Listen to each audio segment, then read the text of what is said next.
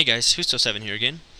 Uh, in my last video I showed you guys how to get open NAT settings for your Xbox 360. Uh, shortly after I posted it, I got a PM with someone asking me how exactly did I get to my router settings. So I thought I'd just make a quick video tutorial on how to get that.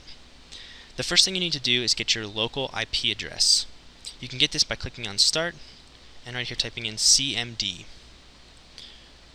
When you have this open, what you need to type in this bar is ipconfig. Now the information we're looking for here is your default gateway. You can ignore everything else. Write down this number that you see. Mine happens to be 192.168.1.1.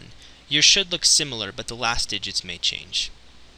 After you've written that number down, go to your favorite internet browser and type that number in the address bar.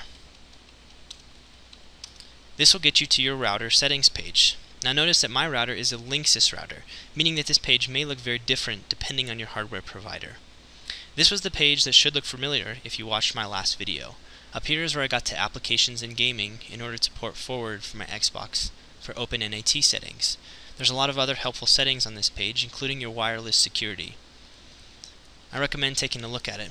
Again, these settings may vary depending on hardware provider, but in the description I'll go ahead and put a list of ports for forwarding, as well as a, a link to a couple of different screenshots depending on your hardware provider.